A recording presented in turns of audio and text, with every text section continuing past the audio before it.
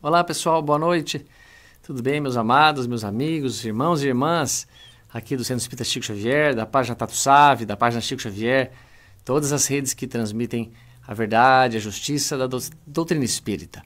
Então estamos mais uma vez aqui, quarta-feira, nossas primeiras quartas-feiras.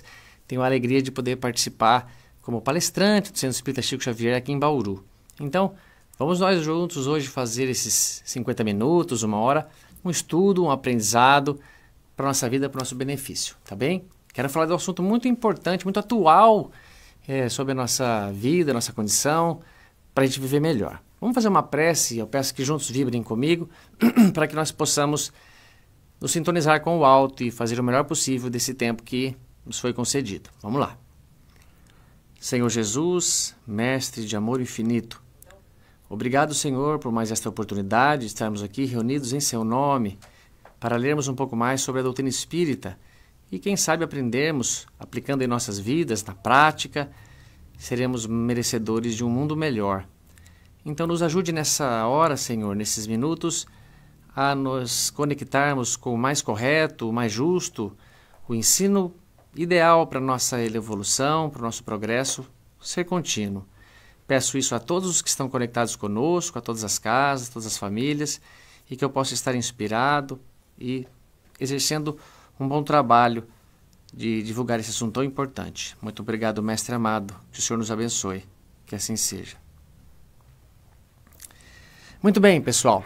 Então, feita a nossa prece, vamos estudar um pouco eh, um, um assunto que está muito atual.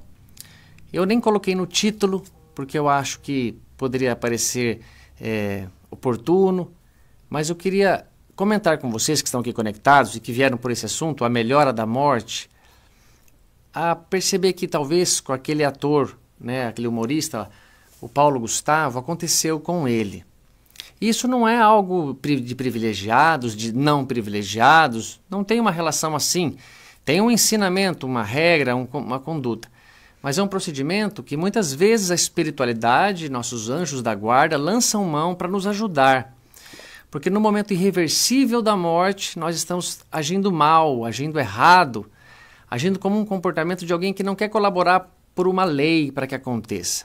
Lembrem ao longo do Evangelho do nosso Senhor Jesus que muitas vezes Jesus repreendeu Simão Pedro quando ele se opunha assim ao próprio desencarne, à sequência dos fatos inevitáveis com Jesus. Ele ser crucificado, ele passar toda a sua história, estava daquele modo delineada. E ele sabia muito bem disso.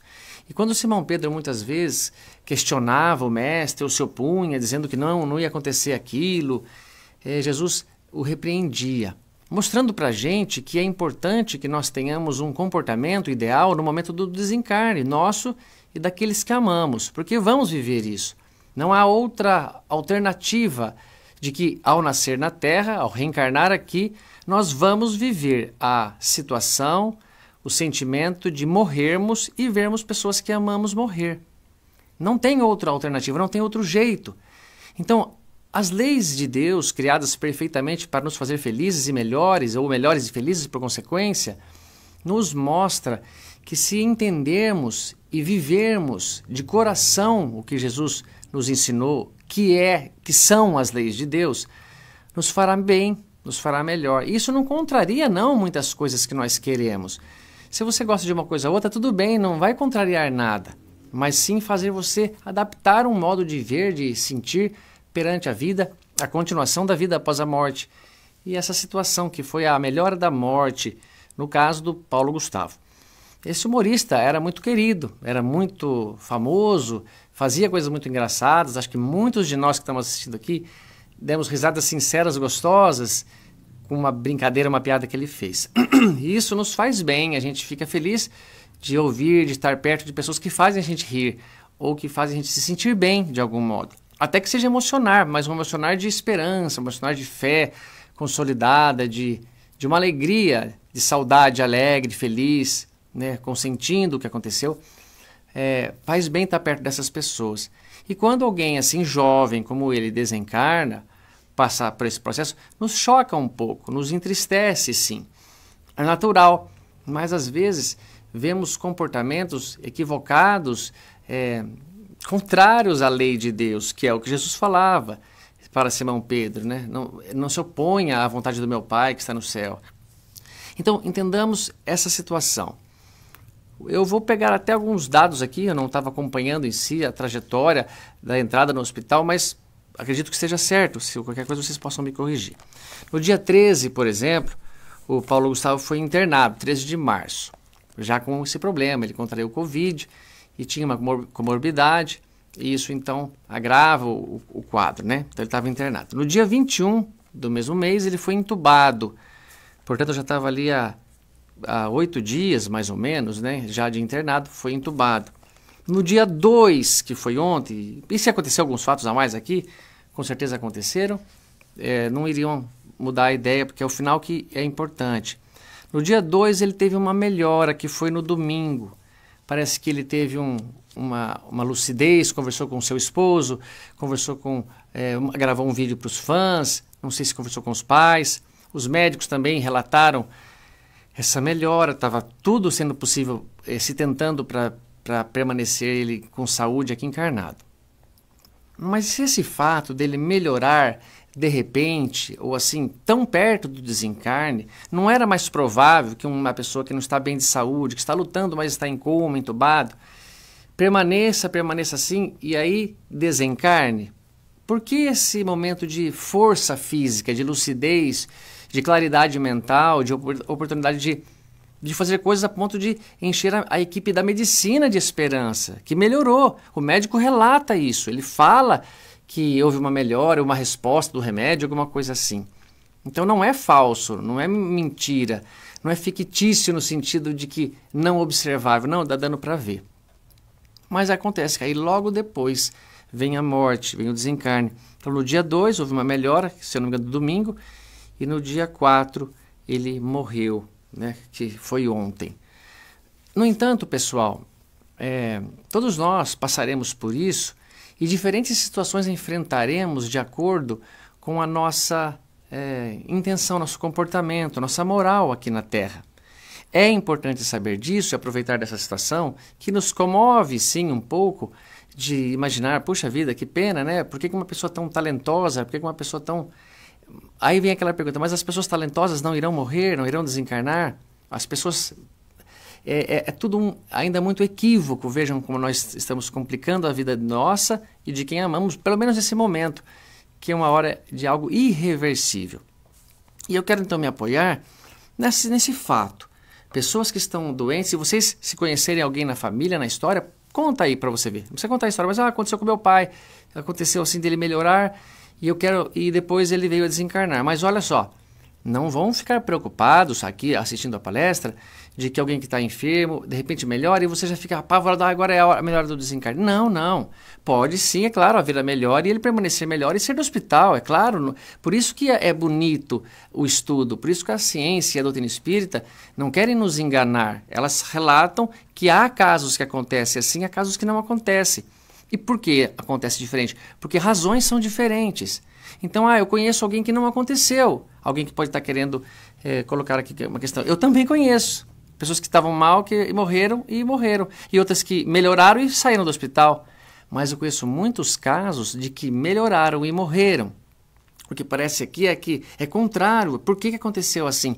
E se a doutrina espírita não tivesse se pronunciado sobre isso, muito antes, às vezes, de nós darmos valores ou atenção, quando um artista morre, quando um, uma pessoa famosa é, desencarna, nós, eu não estaria também comentando, mas eu estou comentando e falando porque acredito e sei da importância, já que a doutrina espírita mencionou isso, explicou para nós, falou o que acontece e por que acontece. E ela faz jus, ela, é, ela faz sincronia com tudo que se ensinou por Allan Kardec, pelos livros que André Luiz trouxe, pela doutrina que veio com Chico Xavier, que é a mesma doutrina espírita, é claro, mas há muita informação ali valiosa desses fatos. E para nós nos comportarmos melhor conosco e com aqueles que amamos, prestemos atenção num dos livros de André Luiz e nos ensinamentos que eu pude coletar. Como eu estava ali com muita vontade de falar, de aproveitar a oportunidade de comentar sobre essa melhora da morte, é, eu juntei bastante coisa, não sei se vai dar tempo e se vai é, ser tão, é, tão exprimido assim. Mas de coração, eu quis começar com este livro, O Obreiros da Vida Eterna. Obreiros da Vida Eterna é um livro muito interessante, muito bacana, porque relata o processo de desencarne de cinco pessoas, na qual, como foi diferente ou semelhante, dependendo do comportamento da família, daquela pessoa, não só no momento do desencarne, isso conta muito também, mas também antes na sua vida, ao longo da sua existência. Eu lembro sempre de uma frase do Gandhi que acho muito boa e muito oportuna, quando perguntaram para ele, é, Senhor Gandhi, qual é a mensagem que o senhor deixa para o mundo? Ele falou, a minha mensagem é a minha vida. Então, é a minha vida que é a mensagem, é tudo que eu fiz, não é uma frase que eu vá dizer agora que não, não coaduna, não tem nada a ver com o que eu preguei e fiz, principalmente, na minha passagem pela Terra. Então, é, olha que, que bacana isso, a, a mensagem a da vida que traz aqui André Luiz. Ó. No capítulo 14, ele diz assim: Há tempo de morrer, há tempo de nascer. Obreiros da vida eterna. Há tempo de morrer e há tempo de nascer. Olha que interessante, ele usa a palavra tempo de uma maneira tão bem colocada. Eu não posso dizer que tempo seja a hora marcada, seja o dia exato. Há tempo de nascer, há tempo de morrer. Quando eu estou lá no mundo espiritual, vai chegando um momento que começa a chegar o tempo de nascer. Ó, tá chegando o tempo. Você pode tentar atrasar um pouquinho e consegue. O, o livro dos Espíritos diz, Allan Kardec diz, que você consegue até. É, a lei de Deus é elástica, mas você não consegue não cumprir. Você pode atrasar ou até antecipar, dependendo do comportamento do seu desejo, da sua vontade. Então veja que interessante. Há tempo de nascer. Então, se eu estou no mundo espiritual e vou chegar ao momento de nascer, eu eu começo a perceber aquela necessidade e se eu nasço, eu encarno hoje, reencarno daqui a um mês, está no tempo. Não tem problema, não é tão problemático assim. Deus não teria estando jogando com tanta dificuldade em acertar o dia, porque nós também temos influências na história, mas nossa influência não vai corromper ou destruir, obviamente, a lei do nosso Pai. Ela se adequa. Então há tempo de nascer, há tempo de morrer. Olha só que bacana.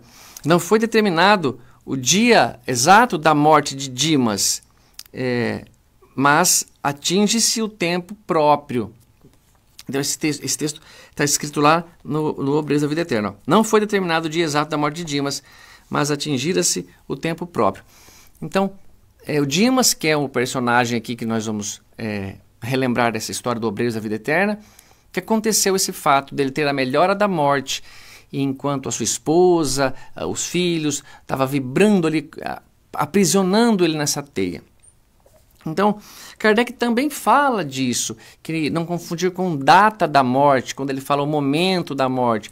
Correto é o momento, né? aquele período. Então começa é, no, no Missionários da, da Luz, no Missionários da Luz, terceiro, terceiro livro, ele fala assim, que nós estamos é, naquela situação de desencarne, estamos prontos para reencarnar. Tudo tem um planejamento. No momento do reencarne, é estipulado até um tempo que o corpo é capaz de suportar. Então você vai reencarnar. É dado a você um corpo que dura 70, 72 anos. É dito assim, e eles até, o, os mentores brincam, e não me volte aqui antes disso, hein? Com tanta naturalidade, como assim, não me volte aqui, ou seja, você está falando que outro vai morrer. Não morra antes disso. Mas depois pode morrer, até porque não dá para segurar mais muito. Então vamos tentar ver com naturalidade esse fato que acontece em nossas vidas. Nós vamos passar por esse processo do desencarne e já passamos tantas vezes. Quando eu comecei a pensar na reencarnação, eu falei: será que eu já morri? Olha que dúvida que eu cheguei a ter um dia. Nossa, já morreu tantas vezes, você chamar de morte o processo da, da desencarnação? Sim, mas nunca morreu em si porque sempre esteve vivo. Deus não cria a vida e a morte, ele criou a vida e os processos de nascimento e desencarne, que é o que acontece conosco. conosco. Nascemos e morremos, renascemos e remorremos, encarnamos e desencarnamos, quantas vezes precisar, até ir aprendendo mais e atingindo níveis mais elevados. Então, quais seriam os motivos para a gente ter uma dificuldade para desencarnar? E tudo isso para explicar essa melhora da morte, tá bom? É, o ponto é, é porque está difícil de desencarnar. Quase sempre essa melhora da morte visa ajudar nesse ponto. o enfermo não tem como mais permanecer encarnado, o processo é irreversível, mas ele está sendo sustentado, adiado, está aumentando o tempo de agonia, de, de dificuldade daquela pessoa. E por amor fazemos isso, não é maldade. Tanto é que nosso comportamento aqui não é visto como uma alguém que quer o mal daquele. Não, é o contrário. Pelo amor que nós temos a quem está doente, pelos pedidos que fazemos, nós conseguimos reverter essa situação e fica mais complicado. Então veja como você é, não consegue reverter, mas manter a situação por muito tempo. Como você consegue ver se você não está sentindo isso ou sente isso dependendo da pessoa que está enferma.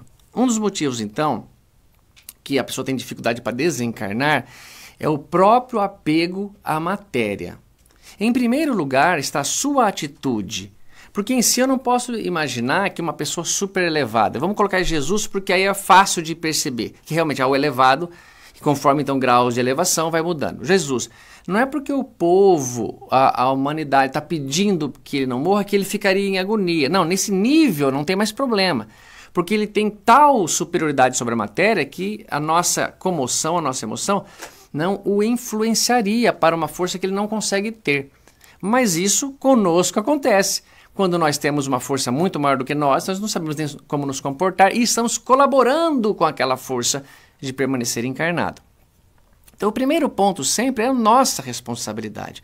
Eu que estou com medo, eu que estou apegado, eu que não quero encontrar ninguém, não quero largar-me de um conforto, de umas vantagens, de uma situação que tenho na Terra. Começa assim podem perceber como nós somos seres que nos vemos no, como corpo, sendo o corpo físico. Nós nos vemos como sendo as pessoas que são mais ou menos bem-sucedidas, as pessoas que têm mais facilidades ou, ou não. E podem saber, a facilidade na fala, a facilidade no raciocínio, a facilidade no pensamento, são situações que o corpo físico também colabora muito para que aconteça. O espírito, sim, é quem raciocina, é quem pensa, quem está lá. Mas se tem um corpo defeituoso, ele é blindado em se manifestar. Imagina que um bom pianista vai tocar um piano excelente, um corpo físico bom. Ótimo, o pianista é o, a, o talento, o talentoso, o músico. O piano só obedece às ordens dele, seria o corpo físico. Mas se ele pega um piano desafinado, faltando corda, não dá para ele expressar toda a sua habilidade. É a mesma coisa no corpo físico. Então não é porque vemos pessoas com mais dificuldade, com mais problemas, que nós podemos configurá-las a oh, um ser mais inferior. Não, muitas vezes é o contrário, tá bem?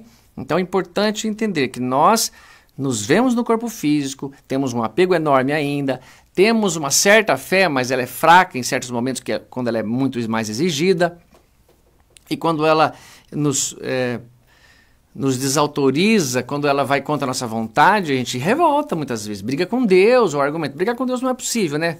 A sua parte fica brava, a dele fica inalterada, nos amando e continuando como sempre. Porém, nós vivemos um período muito ruim, de muita incerteza, muita falta de fé numa fase como essa, né? Olha que bacana. Então, o, o nosso apego, a nossa ansiedade e o medo do desencarnante colaboram muito para que ele não saia facilmente da matéria. E daí a pouco já vem a melhora da morte para isso. E também o apego, a ansiedade, o medo e o egoísmo da turma que fica em oração, implorando para a pessoa não morrer. Ah, mas então não deve ficar oração? Não, não é assim. É, não pode generalizar. Ah, eu não quero que você coma muito porque você está muito acima. Ah, então você quer que eu morra de fome? Não, não, obviamente não pode saber que aqui se jogam com amor conosco. Então, ó, o que, que a gente pode imaginar? A oração, a prece é muito bem-vinda, mas para que ela está sendo feita? Você está impondo a tua vontade? Você está impondo o que, que você quer que aconteça?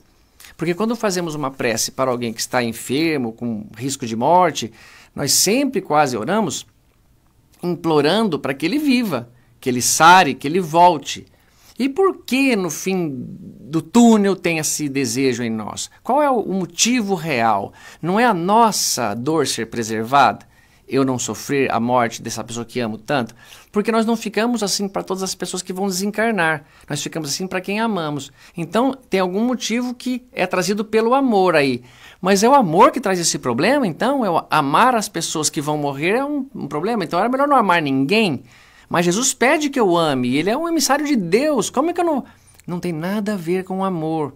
Tem a ver com não compreensão, medo. O amor continuará depois da morte. Ninguém está falando que o amor acaba. Só está entendendo assim: confie, entregue-se a, a, a Deus, como Jesus fez tão lindamente. Então, olha o Jerônimo que estava na equipe falando para o grupo ali agora. Ó. Preparativos para vir, é, preparai-vos para vir para o plano espiritual. Solucionem os derradeiros problemas terrestres. Olha que mensagem bacana e oportuna. Eles estavam já ajudando Dimas nesse desencarne que estava complicado, estava difícil, e ele então fala isso: preparai-vos. Ele dá um dano ensino para o grupo ali que estava assistindo. Jerônimo era o líder, era o mentor. Preparai-vos para vir para o plano espiritual. Solucionem os derradeiros problemas terrestres enquanto estás aí a caminho, como diz Jesus. Então, pessoal, ó, vamos já pegar uma, um aprendizado aqui da nossa palestra. Se quiser anotar, anota. O quê? Vai resolvendo os problemas que tem que resolver enquanto estamos encarnados. Pagar conta, pagar conta no dia que ela chegar, não é tão importante, mas restabelecer laços de amizade, desculpar, pedir desculpas, tentar mesmo que com certa artificialidade, não tá tão íntimo quanto você tem com aquela outra pessoa, com aquela amiga, com a irmã dela, mas que você tente já, ainda que meio disfarçando, mas não ironizando, é claro, não é isso que eu quero dizer. Fazer as pazes, ir deixando essa mágoa menor é importante, porque fica um apego, fica uma coisa a puxar-nos na memória e isso é muito ruim. Ok? Então, olha só que bacana. Nesse momento do desencarne, pessoal, é, confiar é muito importante. Eu não digo e não faço aqui referência, só estou dando o exemplo do que aconteceu com Paulo Gustavo, mas não sei, ah, se essas coisas que nós não fazemos certo, se ele faz. Ele pode fazer ou não fazer, e não importa a posição é, de fama, de celebridade que qualquer ser humano tenha. O Papa Pio XI também tinha uma fama muito maior do que a do Paulo Gustavo e era um homem mais influente no sentido de confiarmos que ele era um representante de Deus aqui. E ele então passa também muita agonia, mu muita agonia, nem digo que o Paulo passou, mas uma agonia difícil nesse momento da morte. Ele não foi poupado, a morte não reconhece a autoridade, disse Humberto de Campos, do, do Papa, né? Então, nesse momento, pessoal, que nós virmos que estamos numa situação de desencarne irreversível, confiem, não tem mais volta. Confiem que Jesus está conosco, que tem amparo, que é, é que, que, nos ajuda, que é importante. Eu quero ler um, te, um, um trecho aqui, pessoal. É, eu não sei se está nesse. Ah, ah, eu tinha deixado certinho na página, não é possível. É uma, é uma pergunta que o André faz sobre. Ah, não, depois, depois, depois eu vejo esse livro. É, mas eu posso explicar para vocês. Sobre todos, todos nós temos auxílio, ajuda quando no momento de desencarne. Está no Mensageiros da Luz. Eu perdi a página, não quero perder tempo aqui.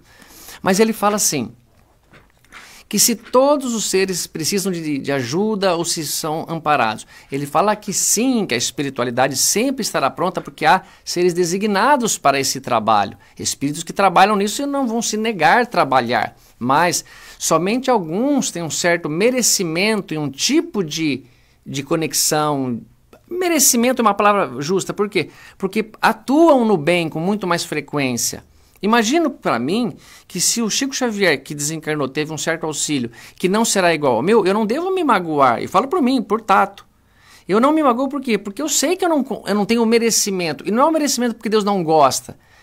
É o merecimento porque eu não consigo captar, eu não me sintonizo com eles, eu não me interessei com eles. E até nesse momento agora, inclusive, eu estou ainda com o mesmo pensamento que eu tinha na Terra. Então não é possível. Mas todos nós teremos uma ajuda. Mas nesse momento, para você oferecer a ajuda às pessoas que estão ali, eh, lhe ajudando de coração, confie em Deus. Vocês lembram que Jesus na cruz é, é atribuída a última frase de Jesus, quando ele diz: Pai, em tuas mãos entrego o meu espírito. Veja, tudo estava consumado. Eu já fiz tudo aqui e nas tuas mãos entrego o meu espírito. É o que eu sou. Agora vejam bem, precisava que Jesus, naquele momento, é, fosse guiado por Deus. E eu, eu digo que não é desprezando a Deus, é óbvio, mas Jesus é um nível que ele isso para desencarnar para ele, eu acho que é a mesma coisa que amanhecer para nós. É, é, é, tão óbvio, tão natural, tão da lei que ele, ele não sofre assim, não tem esse problema. Então acho que ele não precisaria, nesse momento, pedir orientação. Mas o que, que ele estava fazendo? Entregando-se a Deus, colocando-se sim de acordo com a sua vontade, exemplificando para nós: Pai, em tuas mãos entrego o meu espírito. Agora o Senhor cuida de mim outra vez, me coloque no lugar merecido. E é isso que nós deveríamos fazer. Se você notar seu desencarne irreversível, está naquela situação difícil, e tomara que demore muito para chegar, tomara que suas intenções sejam realizadas e atendidas certinho na data, e quando você perceber que ah, já vivi bastante, se isso acontecer, e aí sim o desencarne é meu desejo. Para todos nós, que nós morramos quentinhos numa cama com 120 anos bem quentinhos, bem cobertos, assim, bem gostoso. E a gente acorda já no mundo espiritual. Aí, pessoal, isso que Jesus faz é, deve ser exemplo para nós no momento de tudo que nós passamos, não tem mais volta, não há mais tempo. Confia, entrega, resignação. Resignação é quando você não pode mudar um quadro e aceita ele com, com um coração humilde. E ele lhe contrariou, obviamente, porque você não precisava, precisava ter resignação. Para você ganhar um presente de de, de Natal, de aniversário, aceitar com carinho. Você não precisa ter resignação, está tudo favorável ao que você quer, mas aceitar não ter a festa e compreender que não pode gastar dinheiro para pai estar apertado, aceitar que você não vai poder viajar esse ano, aceitar com resignação, ou seja, me contrariou, mas eu estou feliz, compreendendo e seguindo a vida da melhor maneira. A morte é um momento que precisamos muito disso e não será fácil, pessoal. Não será. Eu espero no meu desencarne e Digo isso com toda simplicidade de coração. Me lembrar dessas coisas, tentar pedir ajuda e, e de sentimento sincero sentir, não só da boca para fora. Mas se a gente não conseguir fazer e não tiver um certo treino, um certo preparo, um pensamento para isso, fica muito, muito difícil nós conseguirmos. Só ver quanto tempo. Ah, tá, 27, maravilha. Então, pessoal, olha só uma, uma, um texto que está no Obreiros da Vida Eterna, que fala sobre essa situação agora da melhora da morte e o porquê do motivo deles estarem fazendo essa melhora. Os últimos dias de Dimas, olha que bacana. A esposa do médium, e olha que o Dimas era médium, ou seja, espírita, trabalhava, sabia da situação. Mas olha o que acontece. E aqui já vai então a lição. Não interessa a religião que você tenha na hora do desencarne. Pode saber, espíritas, católicos, evangélicos têm o mesmo direito, porque Deus nos ama igualmente, é o mesmo Pai. Só que se nós não tivermos a verdadeira fé, a verdadeira compreensão, atitude, não interessa a religião.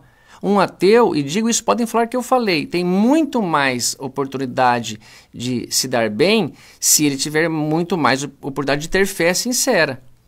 Mas e a questão de ser ateu? Não tem problema. Deus não está preocupado se ele acredita ou não. A lei não vai mudar por causa dele. Mais cedo ou mais tarde ele vai cair em si. E eu não digo cair em si no sentido de tornar-se um homem melhor, porque conheço muitos ateus, parece que seguem uma média de alta de que são bom caráter, são pessoas do bem, mesmo ou se mesmo realmente acreditam que Deus não exista. Mas é, não era uma pessoa qualquer, era um médium aqui, o Dimas era uma pessoa espírita, então já devia ter se preparado melhor.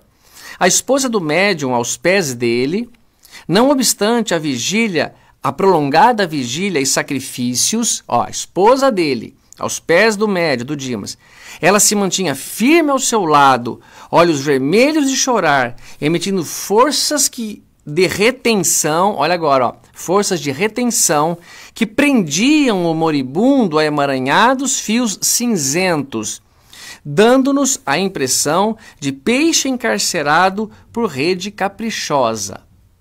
Olha que visão que André relata dele ver o Dimas como um peixe encarcerado, um peixe que lançou uma teia de retenção de fios cinzentos que o prendia por rede caprichosa. Olha que palavra hum, interessante de colocar aqui, rede caprichosa. E isso é importante, pessoal, entender. Quem estava emitindo isso? A esposa do Dimas. Por que ela não gostava dele? Não, pelo contrário, porque ela amava e estava em vigília, em pressa, implorando a Deus que ele não morresse. Podem ter certeza que a, a impressão que ela causa a Deus não é de dúvida assim, ai filha, será que ele não deve morrer então? Mas filha, não, não, não há isso em Deus. Há a lei e nós temos poder, pessoal. Nós podemos fazer as coisas. Por isso eu vou falar e pedir muito cuidado com as coisas que vocês querem que aconteça. Porque peça e receberá, bata e se abrirá, diz Jesus. A mecânica quântica afirma a mesmíssima coisa. Se você ficar idealizando uma coisa, ficar imaginando, ficar focando e vibrando e agradecendo o universo, você vai se tornar uma pessoa muito favorável pela harmonia, pela vibração, pensamento e sentimento para que aquilo aconteça. É muito influenciável no gerador de números aleatório, lançamento de moedas, no sentido de dar 50%. Nós influenciamos muito nisso. E influenciamos mesmo sem saber. Porque não é só sabendo que você precisa usar aquela coisa. O homem se beneficiou da lei da gravidade por milhões de anos até descobrir, ou descobrir, perceber que existe uma atração em matéria que atrai matéria. E isso nós não precisamos entender o que, que ela é para ela funcionar, ela já está funcionando. Então nós passamos a compreender e entender melhor algo que já está acontecendo conosco. E é por amor ela faz essa retenção, porque ela é um ser humano, a esposa do Dimas, e ela tem poder, poder de desejar, poder de pedir, poder de influenciar a matéria, a vida, as coisas. E pode ser até coisas inorgânicas, pessoal. É só você começar a desejar uma coisa ali, que aquilo é é, é, é, é vibração quântica também, ok? Então, olha só a frase de, do, do Jerônimo. Ó. Improvisemos temporariamente uma melhora a Dimas até o dia seguinte. Puxa vida, quando eu vim procurar esse texto aí para comentar sobre o desencarne, essa melhora que o Paulo Gustavo teve, conversou com o esposo dele, conversou com os pais, se eu não me engano, mas fez um vídeo para os fãs. Ou seja, uma pessoa que estava em coma, estava entubado, está mais há, um, há mais de 40 dias no hospital. E logo depois desencarna, isso só que é, me parece interessante. Foi de um dia para outro, foi no dia seguinte. E não é assim, pessoal. Lembra logo como nós começamos a palestra, não é a hora exata. Ah, mas ele melhorou e foi morrer só no dia seguinte. Não, podia ser semana seguinte. Mas geralmente não é tão longe. A semana seguinte, quero dizer, está no período da morte, está no momento, está no tempo da morte. Muitas pessoas podem ter uma melhora é? e voltam a ficar em coma e não desencarnam. Ficam mais um tempo e depois desencarnam. Não há uma regra fixa. Para aquela pessoa, para aquele espírito, para aquela vibração, foi o tempo que custou ou foi o que precisou ser feito. Tudo tem uma explicação, uma sincronia que não é possível chegar até nós completamente pelo nosso nível de entendimento e pela nossa busca pela verdade. Tudo isso é, é, é bem sensato e bem lógico. Então, ele falou isso: improvisemos temporariamente uma melhora para, para o Dimas. E o que acontece na história? Dois espíritos, com um perispírito feminino, vão até a mulher do Dimas, aplicar nela passes para acalmá-la, para influenciar pensamentos de outra coisa, para desviar o pensamento dessa prece, dessa retenção. E aí conseguem outros trabalhadores, no caso Jerônimo, André Luiz, a turma que estava com ele, ir lá e aplicar passes em dimas, passes magnéticos de influência é, energética, espiritual, que restabelecem o perispírito, que ajudam no corpo físico, mas são pessoas que estão derrogando a morte? Não, a lei é irreversível. Depois que começa o processo de desencarne, e que não é assim de uma hora para outra, pode demorar longos períodos. No livro dos Espíritos fala de horas, até meses, até anos. O negócio é, é pesado muitas vezes você nota é, essa, essa verdade. Então, eles, dois espíritos femininos, vamos dizer assim, apesar que espírito não tem sexo, mas em perispírito feminino, davam um passe na mulher, ela se acalma, outros dão um passe no Dimas. E olha só que é, é frase bacana dele, ó. Precisamos fornecer a Dimas melhoras fictícias. Por que precisamos oferecer a Dimas melhoras fictícias? Para enganar eles? para tirar um sarro, eles estão doentes, pô, não faça isso. É óbvio que não. Eu estou tentando aqui pensar, mas então pensa um outro jeito. Por que, que o Jerônimo, André Luiz, a turma lá, precisava gerar melhoras fictícias? Para acalmar? Por, por mais umas horas? Não, obviamente que não. Então eles precisavam melhoras fictícias para que aquelas pessoas ficassem eh, desconcentradas um pouco desse desencarne, parassem de implorar, parassem de ficar jogando essa rede de fios cinzentos, com uma rede caprichosa, como eles falam. Caprichosa é porque o nosso capricho está em jogo, nossa vontade de não sofrer, nossa é, dependência, achar que não consegue viver sem aquela pessoa, ou que estamos sempre enganados. Então Dimas chega a melhorar, conversa com um dos filhos, ele fala: Ai, papai, graças a Deus está melhor. Sim, filho, estou melhor. E, papai me se sente bem. Fala, Nossa, graças a Deus, Deus abençoe. Deus ouviu nossas preces. E aí que vem um problema, porque logo após vem o desencarne, não nesse caso em si, mas pode ser em qualquer caso, a gente fala que Deus nos enganou. Que ele nos. É, não, ele não nos enganou, não. Você que se enganou. Ele nunca mudou de opinião. Deus nunca falou, não, ah, eu estava achando, mas você veio com essa, agora. Eu... Não, não. Você que está fazendo de acordo com as leis que ele já criou. E não fica assim, acho que preocupado, se preocupando com cada detalhe, porque tem trabalhadores espirituais para isso. E as leis estão criadas e funcionam pela sustentação do nosso Pai. É maravilhoso, é perfeito, é justo. Ele não precisa ficar tomando partido de uma situação ou outra, porque as leis estão aí, todo o equilíbrio cósmico, todo o equilíbrio espiritual, energético, funciona perfeitamente, não tem o que ver. Olha que coisa mais bonita, coisa mais interessante. Então, aí vem, Jerônimo fala assim, ó, Dimas diz a, esposa, diz a esposa, vá descansar, eu estou melhor, todos precisamos repousar, repouse a meu pedido. Olha que interessante, o Dimas volta ainda parece que inspirado, com certa intuição de pedir para a esposa ir descansar. Meu amor, já melhorei. Vai descansar, vai repousar. Todos precisamos repousar. Vá, meu pedido. Olha que frase incisiva para a esposa que amava o seu Dimas, o seu esposo, ir atender. E ela realmente cansada vai lá, dorme, apaga, desencana, é, desencarna não, né? Desencana do Dimas e eles conseguem operar então o desencarne, esse momento que é, se separa do corpo físico. Porque não fizeram antes, porque não estava dando, estava atrapalhando a situação. Olha no livro Quem Tem Medo da Morte, do Richard Simonetti, um livro muito interessante, traz vários assuntos, inclusive essa melhora da morte. O Richard Simonetti escreve assim, ó, Curiosamente, ninguém pensa no moribundo. Mesmo os que aceitam a vida além túmulo, multiplicam-se em vigílias e orações, recusando admitir a separação. Então a gente que acredita, realmente a gente que é espírita, como estava no caso do Dimas, vai em vigília, não deixa ele sozinho e fica sempre um lá orando, como se fosse vencer pelo cansaço a Deus. Não, você vai vencer o seu amado pelo cansaço. Ele não vai aguentar mais e aí vai ter que desencarnar quando podia ter sido muito mais poupável assim, esse sofrimento. Agora, pessoal, pensemos bem.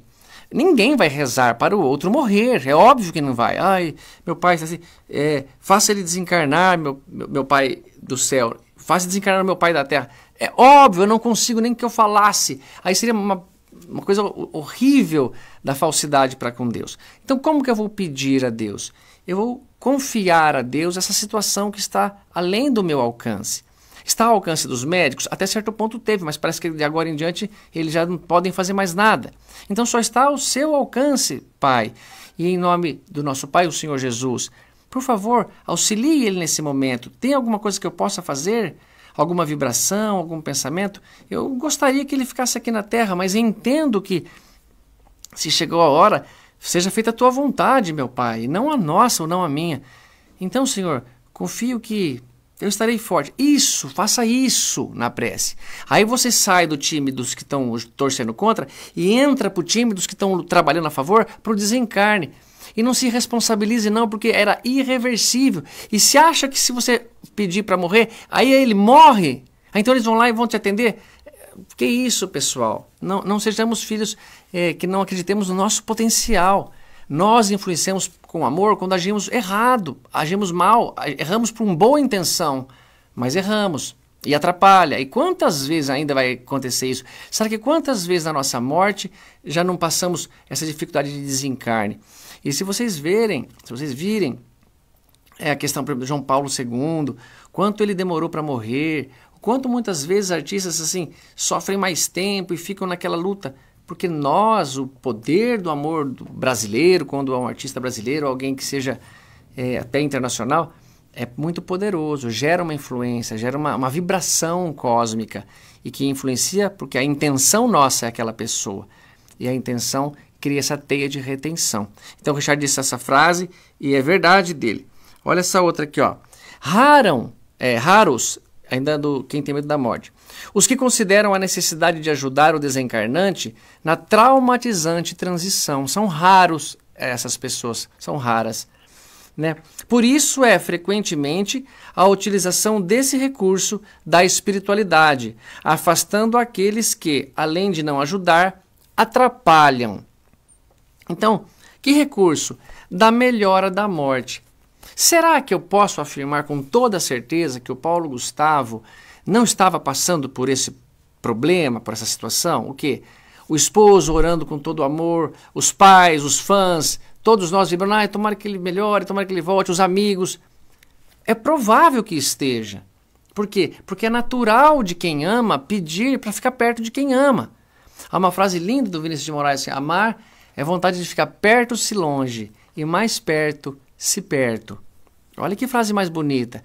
Sim, mas amar tem que ter instrução também. Amai-vos uns aos outros, disse Jesus, mas instruí-vos também. Instruí-vos a que entenda como funciona. E você não está amando, você está apegado. Porque quem ama quer o bem, quem ama vai ser a compreensão, a esperança de que aquela pessoa precisa passar por aquilo. Vamos montar uma situação aqui que fica bem fácil da gente entender. Imagina que você tem um filho que sempre sonhou em fazer faculdade nos Estados Unidos. Ele sempre sonhou em estudar lá ou fazer uma pós-graduação lá. Mas vamos dizer ainda mais novo, com 18 anos, ele quer prestar e fazer universidade nos Estados Unidos. E ele pede sua ajuda, e você ajuda. Ele estudou inglês desde novinho. Veja que eu estou fazendo uma metáfora para um, um preparo de uma possível separação de corpos, pai e filho. Então ele está se preparando, ele estuda, ele vê o que, que, tem que fazer, prepara os documentos, o pai dele ajuda, usa as influências que pode, liga para amigos, vai ficar onde? E chega o dia de ir. O avião vai partir, tem que ir para o aeroporto. Esse momento é, é, é difícil para o pai, é claro que é. Mas você acha que ele iria. Não, filho, não vai mais, por favor, não deixe ele ir. Não, ele está indo contra o que é bom para o filho. Só que no nosso caso do desencarne, nós não sabemos dessa viagem assim. Aliás, não sabemos porque não queremos, né? Dessa situação de estar, ah, eu estou melhor, eu sou uma pessoa que vai agora para o mundo espiritual, eu vou. Não, não, a gente não tem essa confiança, porque desperdiça ler os mensageiros, missionários da vida, missionários da luz, obreiros da vida eterna, nosso lar, libertação no mundo maior. Nós, desper, nós, nós, nós desperdiçamos esses estudos, não aproveitamos esse tempo. Então fica complicado ali. Então eu diria, imagina que essa, esse pai continua então o seu processo, ele embarca o filho, o filho vai para outro país e ele continua sua vida aqui, desejando o bem, torcendo para que é assim que deve ser nosso comportamento, confiar nisso. Agora imagina uma outra situação que um pai, um trabalhador, tem três filhos e ele precisa ir trabalhar, está em cima do horário. Ele pega um ônibus ou alguma coisa assim, não pode se atrasar. E ao sair de casa, os filhos percebem que ele vai sair e grudam um na perna dele, um pequenininho de 5 anos, outro tem 3 anos, outro tem 10 e ficam, não, papai não vai, não vai, e choram, choram doído, choram de, de soluçar, aquele choro que dá vontade de chorar junto, de tristeza, de medo de ficar sozinho sem o papai, como é que é coisa assim. Isso aconteceu uma vez ou outra assim com o Henrique, era massa, uma dureza, meu. E, graças a Deus ele não fez muito, ele era pequenininho. Mas imagine que em três crianças, eu estou dizendo só três, representando três que estão orando para o papai não ir, ou para aquele amado não morrer. Mas no, no, exemplo, o pai tem que trabalhar. Ele tem que continuar a sua jornada, não dá mais para ele esperar. Mas os filhos estão ali grudados. Você acha que aquele pai vai largar aquelas casas empurradas, um chute para lá? Óbvio que ele não vai fazer isso. Ele vai tentar se desvinculando, é, já chamar a atenção de um para lá, um se distraiu, vamos esses dois.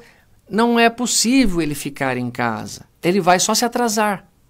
Ele vai perder hora, um horário, vai perder um pouco de, de tempo lá no trabalho, vai ter uma consequência, mas ele não vai poder ficar em casa. Imagine que, ah, mas o pai pode ficar. Imagine que ele não possa ficar. E na morte nós não poderemos ficar. Então, quando chegar essa hora, aquele que ficou na base, como eu falo, aquele que está com a família, tente ajudar da melhor maneira ou pelo menos não atrapalhar. Vocês ouviram aqui a frase do Richard, como ela foi incisiva. Em vez de é, que não fica ali, quem também não atrapalha. Né? É, Semelhantes vibrações por entes queridos não evitarão a morte, disse Charles Simonetti, apenas retardarão, submetendo o desencarnante a uma carga maior de sofrimentos. Foi a melhora da morte, melhorou para morrer, é o que se diz a respeito do assunto. Então, notem que, que, que coisa interessante. A, a nossa força influencia, gera um desequilíbrio, gera uma retenção, mas não é capaz de sustentar por muito tempo, não consegue segurar, mas sustenta por um tempo que a pessoa não precisava ficar naquele medo, naquela angústia. Porque quando você sai da situação e desencarna e está numa situação já de um pouco de lucidez, é, é um conforto muito grande para a alma, eles dizem. É como como uma libertação, um pássaro que estava preso por uma perninha e não conseguia melhorar, não conseguia sair, e agora já consegue. Olha só, eu não sei muito bem como é que está o nosso tempo, mas eu tenho aqui uma, um, um texto, um, uma questão do livro dos Espíritos que é boa para a gente ler agora. Tem 12? Tá, então dá. Olha só, pessoal. É, é uma pergunta interessante, ó, a 155 do Livro dos Espíritos. Como se opera a separação da alma e do corpo? Como que acontece? Eles dizem: rotos os laços que a retinham, ela se desprende. Então, esses laços que prendem a alma no corpo, que prendem o nosso perispírito ali, eles vão ter que ser rompidos, mas não arrebentados, eles vão ser desfeitos, que nem desamarrado um laço. Olha o que Kardec continua perguntando sobre o assunto. E tem A. A separação se dá instantaneamente por brusca transição?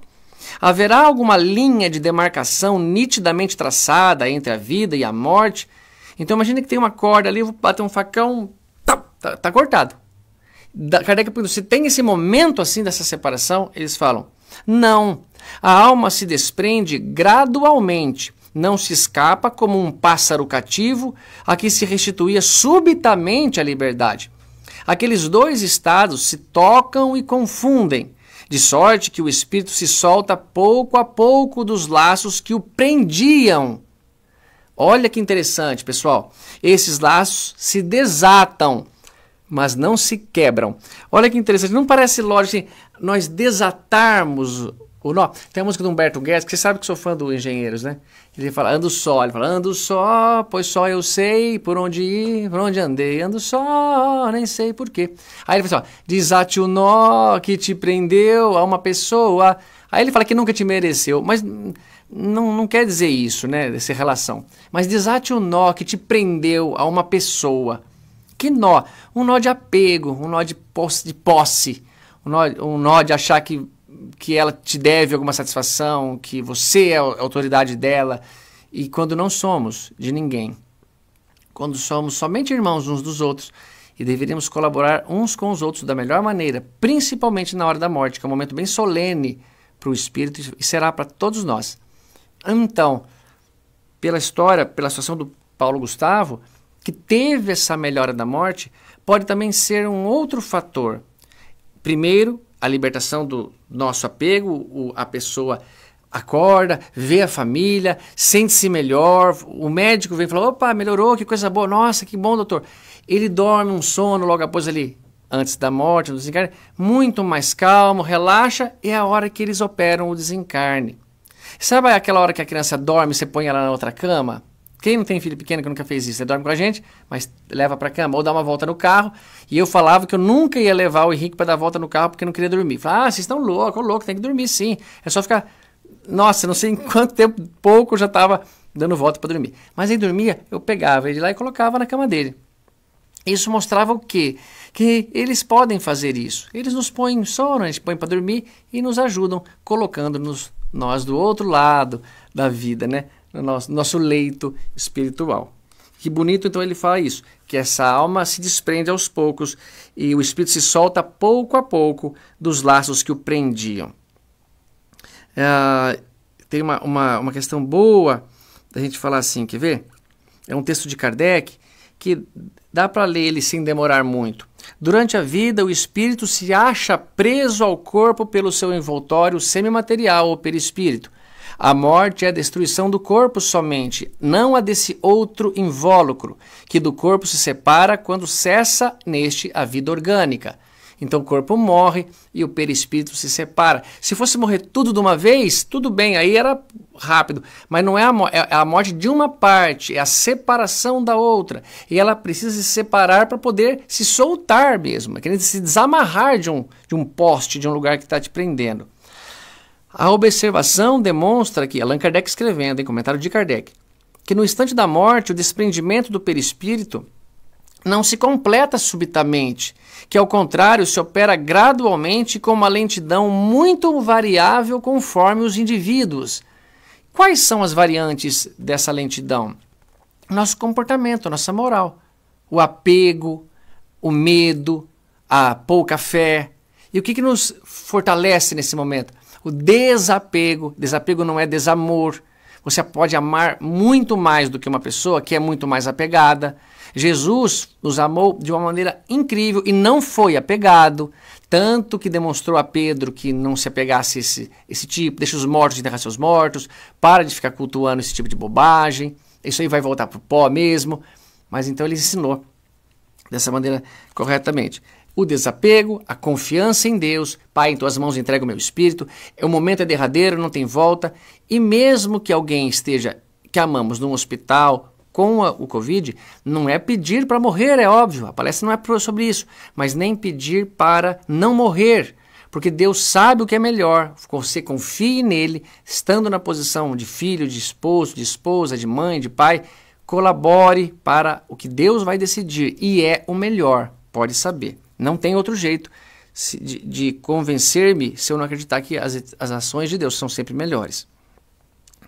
Olha lá, em uns é bastante rápida a separação, podendo dizer que o momento da morte é o da libertação, com alguma, algumas, apenas algumas horas de diferença. Ah, okay. Em outros, naqueles, sobretudo, cuja vida foi toda material, veja que interessante, material, o desprendimento é muito menos rápido, durando algumas vezes dias, semanas e até meses, o que não explica existir no corpo a menor vitalidade.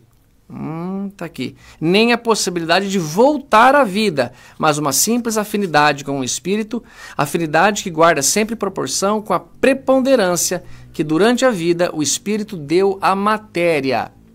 Pessoal, não é que nós não possamos é, viver e ter conosco os bens para usufruir. Não, nós precisamos de roupa, nós precisamos de alimento, mas é não achar que você é menor ou maior por causa de uma peça de camisa. Não achar que é maior ou menor porque mora num bairro, tem um carro, sabe falar um idioma. Deixa de bobeira, meu. Deixa de bobeira. Isso só está te enganando e te prejudicando cada vez mais. Pensa que você é uma pessoa que está em evolução, melhorando e lutando consigo mesmo sempre. E quando você perceber que pode ajudar, não abra mão, não pule a parte de ajudar. Ah, pessoal, eu, eu vou ter que partir para uma partezinha aqui. É rapidinho, do Emmanuel, tá no caminho Verdade e Vida. Eu tinha umas outras coisas aqui, não vai, mas não dá tempo. O tempo é maravilhoso, ele passa muito rápido. Mas olha que interessante, pessoal. Quando Jesus fala: Pois que aproveitaria ao homem ganhar todo o mundo e perder a sua alma? Que aproveitaria? Aqui é o contrário, justamente, porque ele está falando assim: ó, ah, eu, eu ganho o mundo e perco a alma. Não, não, você não pode ganhar o mundo, não tem como. Justamente a única coisa que você poderia ganhar seria ganhar a alma, virtudes para a alma, tesouros no céu. E você está justamente querendo o contrário. Você não quer os tesouros da alma, não está querendo nem ir para lá, não está aceitando, e está é, investindo em tesouros que são voláteis, que vão desaparecer, que não têm força. Então, olha só. Que aproveitaria o homem ganhar a terra, o mundo, e perder sua alma, sendo que uma hora ele perde a terra, ele perde o mundo, porque isso é, é perecível. Olha que coisa maravilhosa. As criaturas terrestres, ou seja, espíritos imperfeitos, de um modo geral, ainda não aprenderam a ganhar. Entretanto, o espírito humano permanece no planeta em busca de alguma coisa. É indispensável alcançar valores de aperfeiçoamento para a vida eterna. Então ele está falando que estar na Terra é uma oportunidade para ganhar valores da vida eterna e nós não aprendemos a ganhar isso ainda. Recomendou Jesus aos seus tutelados que procurassem, insistissem Significa, isso que o homem se demora na terra para ganhar na luta enobrecedora. Toda perturbação nesse sentido provém da mente viciada das almas em desvio. Veja que a perturbação que acomete vem dessas almas perturbadas, mentes perturbadas em desvio, desvio da lei de Deus, desvio do que é correto. O homem está sempre decidido a conquistar o mundo, mas nunca está disposto a conquistar-se para uma esfera mais elevada. É verdade. Se você passa a vida toda conquistando para o mundo, por que, que você acha que na hora da morte você vai conseguir não querer conquistar? Ou vai querer achar que consegue abrir mão? Não consegue. Não tem como. Porque nós não treinamos ainda. Aqui é, é lindo demais, olha só. Se teus desejos repousam nas aquisições factícias, ou seja, falsas, artificiais, relativamente a situações passageiras ou a patrimônios fadados ao apodrecimento. Que interessante, né? Fala aí um patrimônio seu fadado ao apodrecimento. Uma pedra não vai apodrecer. O corpo físico vai apodrecer. Olha que mensagem sutil para dizer do nosso patrimônio do corpo físico. Se teus desejam, se teus desejos repousam nas aquisições falsas, factícias, relativamente a situações passageiras ou a patrimônios fadados ao apodrecimento, tudo que os olhos da carne pode ver está morto ou vai morrer, diz Emmanuel, continuando.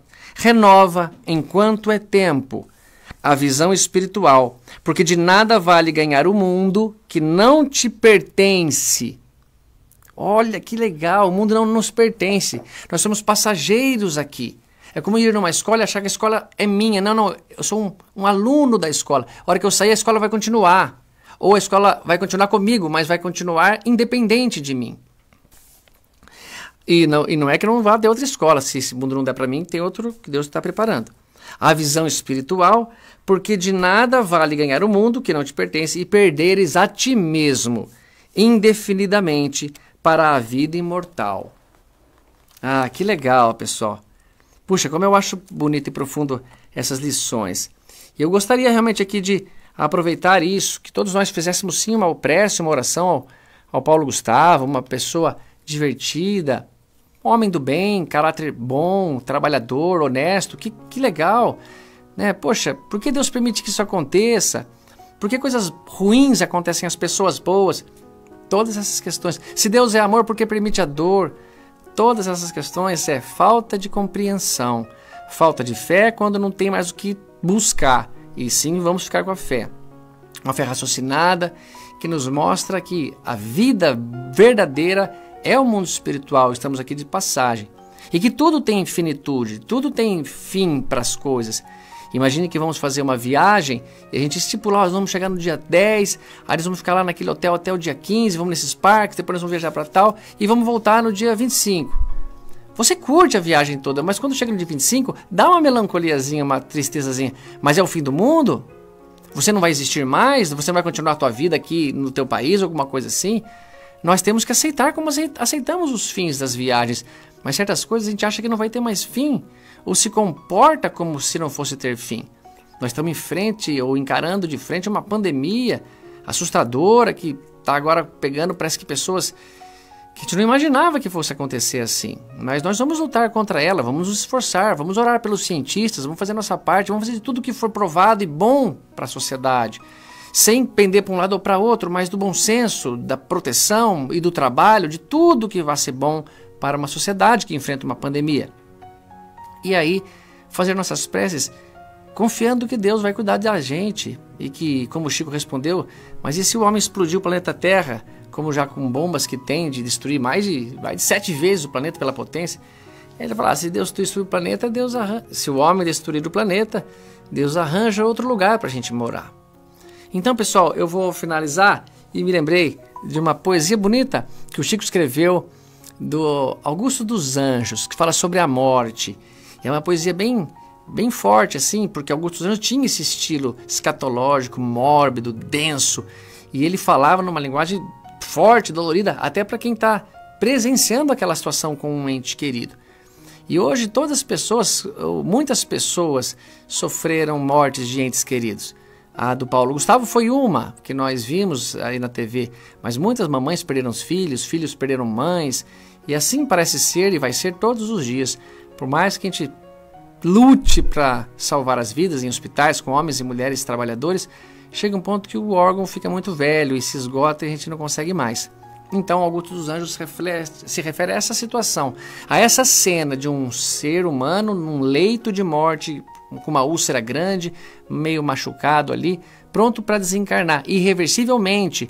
Mas veja que a frase final mostra algo muito bonito depois de uma poesia tão pesada. Ele fala assim: Ei-lo o doente que se desengana, a úlcera enorme, baba, gosma escura, é o esqueleto que se descostura ao bote da gangrena soberana. Linfa, sangue e suor em papa insana, na fusão miasmática sem cura, por sane e fel, no ventre da amargura, cospem a podridão da casca humana. Última convulsão que desgoverna, e a morte chega brusca, horrenda e terna. Corre na goela irta fino gume, e a alma ditosa nasce agora noutro nível. É um parto novo, e a vida imperecível desabrocha, qual lírio sobre o estrume. Augusto dos Anjos, por Chico Xavier. Veja que interessante. Um corpo feio, suado, com dor, com sangue, com sofrimento, acabou. Mas como se aquilo fosse o estrume, o que nós somos, o que vai ser deixado para a terra, para adubar a terra, nasce um lírio, como um lírio sobre o estrume, diz Augusto dos Anjos. E esse lírio é o nosso espírito, pessoal. Esse lírio é a imortalidade, é a nossa alma que vai continuar. E quão melhor se ela passar por esses processos de desencarne e reencarne da maneira mais fácil possível, como grandes homens e mulheres já passaram. Mas eu quero de coração ajudar a todos aqui da família do Paulo Gustavo, acho que com certeza ele nem vai ver isso, mas que ele receba as minhas vibrações de alguém que confia em Jesus, em Deus, mesmo não compreendendo, eu entrego nas mãos do nosso Pai o nosso destino, o nosso espírito, e faça isso você mesmo, com você principalmente, mas também com aqueles que você ama e que precisam da sua ajuda num momento como esse.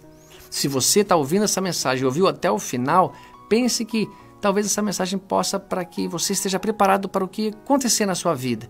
E saiba que daqui pouco tempo todo mundo está no mundo espiritual. E nós vamos ver lá, como disse o Dr. Bezerra de Menezes, quem é que estava com a razão. Mas fazer isso, para mim, me parece o melhor, o mais sensato, o mais amoroso.